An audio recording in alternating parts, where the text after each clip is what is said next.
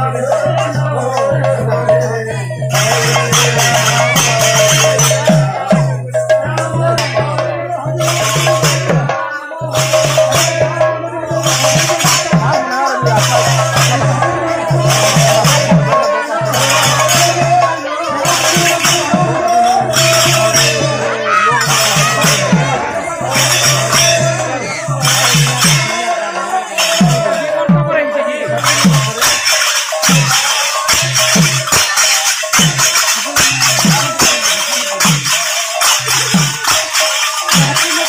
रखते